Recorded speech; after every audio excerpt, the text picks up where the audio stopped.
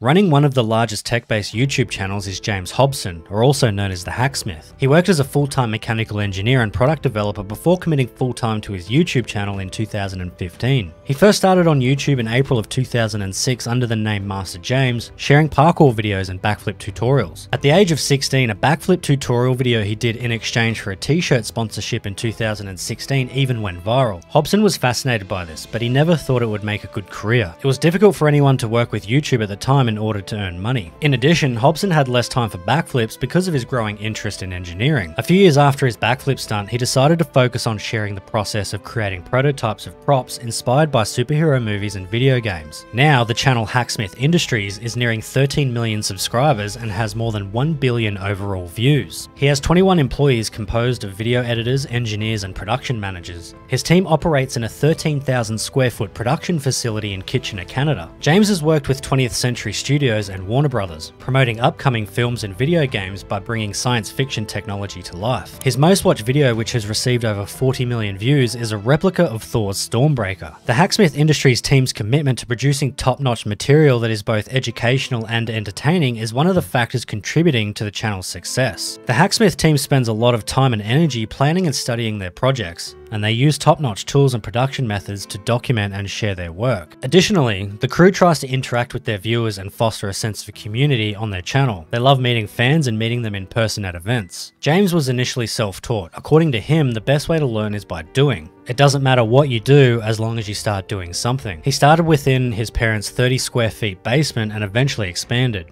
He is creative and motivated. However, it didn't come easily. For the first couple of years, he didn't get much attention. He was putting out content but having a hard time finding an audience. But in 2014, he finally started receiving a lot of attention after his 16 part video called Make It Real Elysium Exoskeleton The Big Test. In the video, James tried to recreate the top half of the exoskeleton from the movie Elysium. It's not as functional as in the movie, but it was still incredibly impressive. It's the sort of technology that you'll see used in government and corporate projects. People were amazed. Within three days, the video had over 500,000 views, and he was even invited to appear on the Discovery Channel. The channel doubled in size after that viral video. From 20,000 subscribers, it grew to 40,000. He eventually continued investing in tools and equipment. He bought a house with an 1800 square foot garage on the site for its taking out a sizable mortgage from the bank. During this time, he was still working as a full-time product developer. Well, I have a Bachelor's of Engineering that I received from Conestoga College, where I studied Mechanical Systems Engineering. After receiving a Bachelor of Engineering and Mechanical Systems Engineering from Conestoga College in Ontario, Canada in 2012, he began his work as an engineer and product developer. James's plate was stacked. He was working as a product developer and was also writing for Hackaday.com,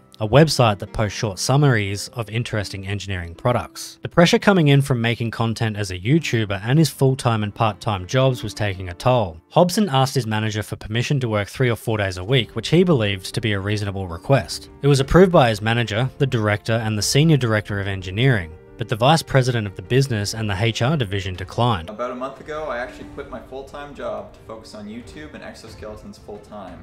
In November 2015, he finally decided to leave his job as a product developer and focus only on YouTube. He started working with his good friend Ian Hillier, helping him behind the scenes. If you don't recognize me, I'm Ian.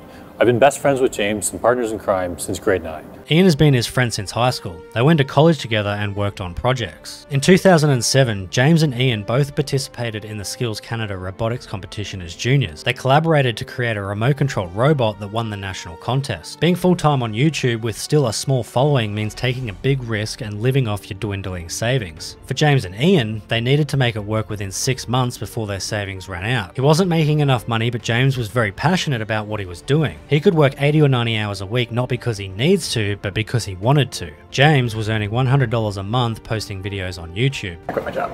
Okay. Making 100 bucks a month. To generate some additional cash, he decided to engrave cutting boards, coasters, and other housewares with his CNC laser cutter and sell them on Etsy. Fortunately, that period in his life is when everything came together for his YouTube career. Not long after, he went full time. He finally hit 100,000 subscribers. We did it. 100,000 subscribers. His and Ian's hard work had finally paid off. In 2016, James tested his viral Elysium exoskeleton by lifting a Mini Cooper off the ground. Aside from the top half of the early prototype, he also made the legs for it. In the video, James's lifting efforts were entirely relieved by the exoskeleton itself. James notes that despite raising the car's rear end, his legs felt absolutely no strain, and the suit took the complete force of the lifting effort. A few months after that, James's exoskeleton was one of the main exhibits at the GTA Collectibles Expo at the Sheridan Center. In May of 2016, they developed a 3,000 pound lifting force copy of Captain America's electromagnetic shield. Prior to the release of Captain America Civil War, they aired the video,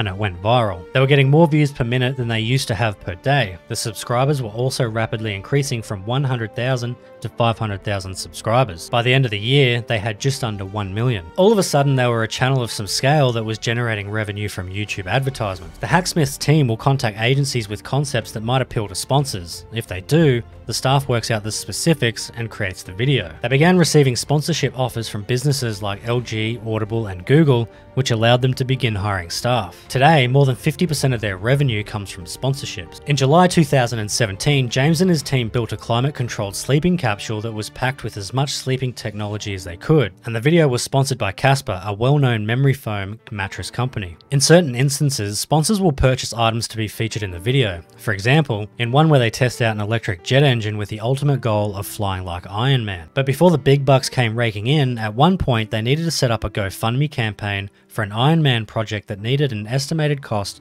of $75,000. Within six months, they had raised only $3,000. It wasn't enough, but they never gave up. His largest and most expensive project? Probably the world's largest Mjolnir for $100,000. The hammer weighed over 4,000 pounds and took four months to build. In another video, they tested the hammer by dropping it 100 feet from a car and crushing it. Talk about turning your inner child's dream into reality. In addition to these, Hacksmith Industries' other creations include a functional replica of Iron Man's repulsor gauntlets, complete with LED lighting and sound effects, a life-sized model of the exosuit from the game Destiny, which was built using 3D printed parts and a custom exoskeleton frame, a working lightsaber, which was created using a high-powered laser and a custom hilt, a prototype of a jetpack using vacuum cleaners to generate lift, a full series on making all of the Mandalorian's different gadgets and armor, they even made a Star Wars fan film following this. Aside from that, they also produced a number of videos making do-it-yourself tech items such as a custom 3D printer and CNC mill which were built from scratch using various salvaged and donated parts, a variety of custom tools and equipment for use in their workshops such as laser cutters, welders, and drill presses. The videos, which often require hundreds of hours of effort for one project, are meticulously shot and show the entire process from beginning to end. The videos demonstrate the sophisticated engineering required to bring the creations to life, but sometimes projects will sit on their shelf for months or even years just waiting to be finished. Their creations can also get extremely expensive and require a lot of funding. Early in 2021, James bought an 18 acre plot of land